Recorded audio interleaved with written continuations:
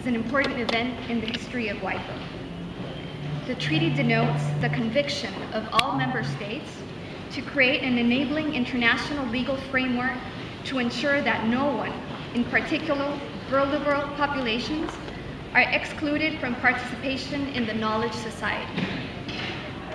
Intellectual property rights should not be allowed to become a barrier to access to information and knowledge. Today, an important step was taken to respond to the needs of stakeholders in the copyright system other than right holders.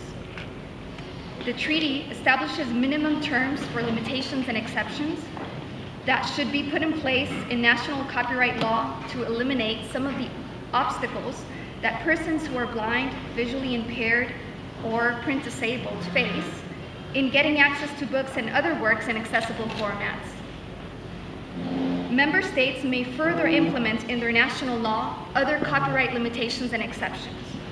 Developing countries and least developed countries should make full use of that discretion. The South Centre stands ready to assist its member states and other developing countries and least developed countries in the implementation of the treaty.